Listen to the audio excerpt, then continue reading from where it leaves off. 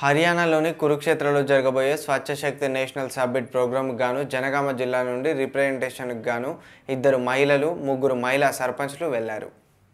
హర్యానాలోని కురుక్షేత్రలో ఫిబ్రవరి పన్నెండున జరగబోయే ప్రధానమంత్రి చేపట్టిన స్వచ్ఛ శక్తి నేషనల్ సబ్మిట్ ప్రోగ్రాంకి మన తెలంగాణ స్టేట్లోని జనగామ జిల్లా నుండి ఐదుగురు మహిళలు ఇక్కడి గ్రామాల్లో జరిగే స్వచ్ఛ భారత్ ఇంకుడు గుంతలు కానీ మరుగుదొడ్ల గురించి అక్కడి ప్రజలకు వివరించారు. ఈ ప్రోగ్రాంలో గంగం వాణి ప్రత్యూషారెడ్డి జహీద రమ శారద జనగామ జిల్లా నుండి ఐదుగురు మహిళలు పాల్గొన్నారు for maintaining the village. Okay, so uh, you mean uh, Swachh Sarvekshan Gramin? Yeah, yes.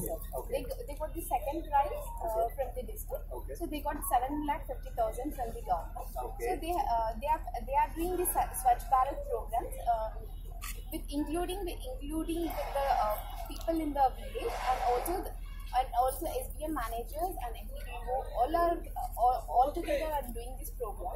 They are organizing and they are uh, they are helping the people to uh, uh, to keep, uh, to keep this environment neat and clean.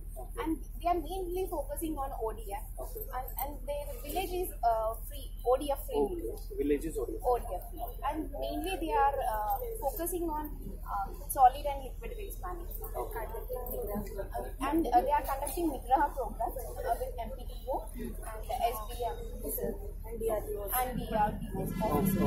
Every Tuesday and Wednesday they are conducting uh, uh, this program.